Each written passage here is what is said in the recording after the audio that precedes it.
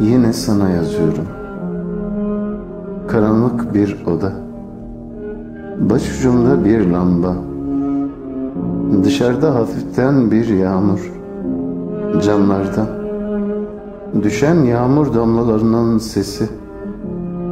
İçinde bir sızı.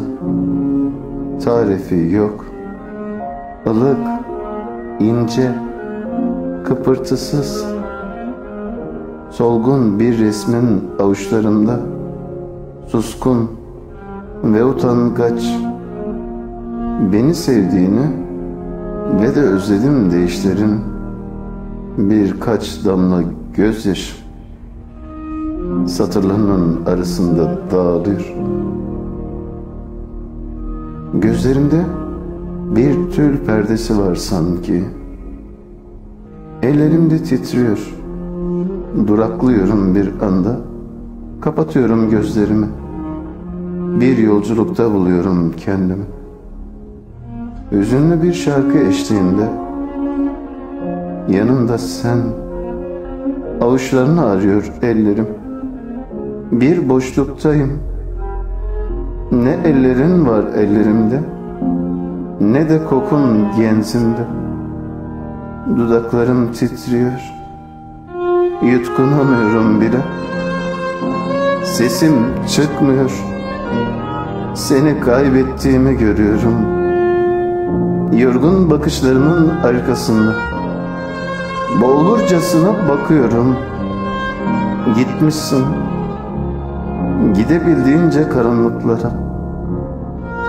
Yine takıldı gözlerim. Sigaramın dumanına Gökyüzüne doğru hare hare süzülüşüne Gözlerini görüyorum Dumanlar arasında Bakışların üzünlü Biraz da yaşlı. Daha okumadın sana yazdıklarımı. Belki de okuyamayacaksın. Ve öğrenemeyeceksin. Sana hissettiklerimi. Bazen kızı, bazen baş eğip kendime döndüklerimin sebebini bilemeyeceksin. Bazen seni unuttum sanacaksın. Bazen de hep aklında olduğunu düşüneceksin.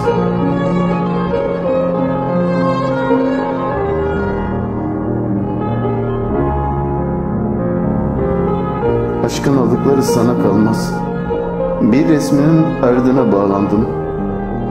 Yılların ardına sığınan düşünceleri. Sana baktığımı farz ederek. Olmadı, sonu hüsrana çattı. Ve acılar bastırdı senli tüm düşüncelerimi.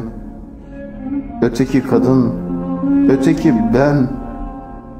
Kendimizi öteleyerek sadece yalnızlaşabildik.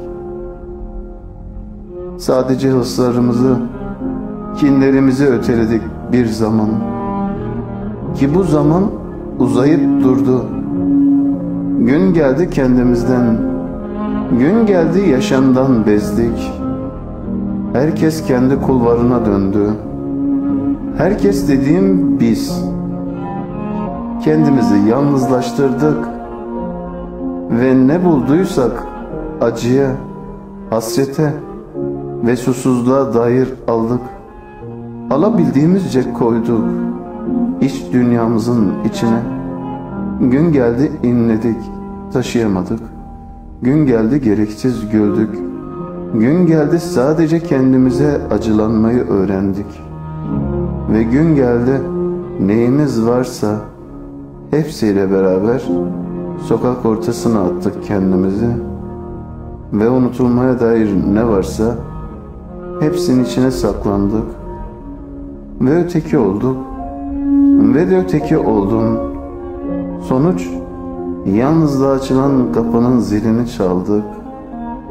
Ve öğrendik ki aç tutsak edilemezdi.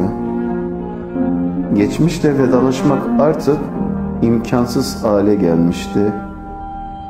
Hele sevgili dediğinle vedalaşmak sonsuza kalan bir istekti belki de ama hayat tüm hızıyla dünleri bırakıp yarınlara doğru savuruyordu. Artık tutunmak bile bir yere sabitlenmek ve oralarda duruksalmak kolay değil. tüm hızıyla savruluşa doğru koşmak belki de kaçınılmazdı. Sadece yüreğe hükmetmek gerekti veya söz geçirmek gerekliydi. Şiirler mavili gökyüzünde, mavili gökyüzünde. Bu şehirde sokak lambaları yandığında sadece onun sesini duyarsınız. Can Bestekar, Aziz Can, Aziz Can.